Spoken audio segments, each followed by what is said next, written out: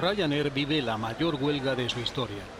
La línea aérea ha cancelado este viernes casi 400 vuelos. Afectarán a unos 67.000 pasajeros. La huelga de 24 horas convocada por los pilotos de la aerolínea irlandesa en Alemania, Bélgica, Suecia e Irlanda tendrá eco en toda Europa. 14.000 pasajeros se verán afectados tan solo en España. Es la primera vez que los pilotos hacen una huelga conjunta en la historia de la compañía. Reclaman avances en las negociaciones que mantienen desde principios de este año sobre salarios y condiciones de trabajo.